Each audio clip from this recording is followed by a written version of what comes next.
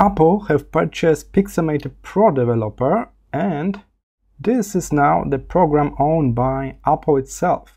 So the bad news is it will never ever be released on Windows or Android if you plan to use it on mobile devices. It will be exclusive to Mac systems and iPad. So that's the bad news. What's the good one? It's pretty solid raster editing software.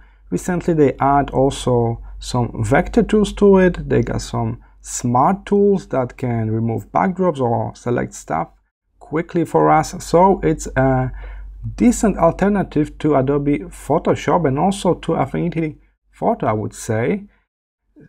By this purchase, Adobe may feel threatened because now they don't need to like promote that you can run Adobe Photoshop on Mac. Now they can show their own software, right? They can focus on that. And if they invest in this and merge this with this brand new Apple Intelligent umbrella, it's gonna be uh, really something. So it's a bit a bittersweet thing because we got a support for a big competitor for Adobe Photoshop, but from other hand, it will be locked only for Mac for sure because it's owned by Apple right now.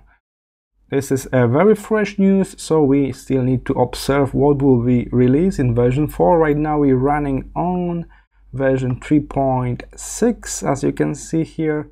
This is version 3.6. They put a really nice additions in the recent update. They add uh, like vector masks, uh, they got some proper vector tools and all of that stuff. So this software is better and better with each update and actually doing few things better than Affinity Photo and few things not as good as Affinity Photo. So if you wanna learn the difference between Pixelmator Pro that was recently purchased by Apple and our favorite Affinity Photo, I already made this video a few weeks ago so you can watch that just after this one. Thank you for today. It was a rather short video, just an update what's going on with this great Adobe Alternative software. As I mentioned, probably locked in Apple ecosystem forever now. Thank you for today. See you in the next video.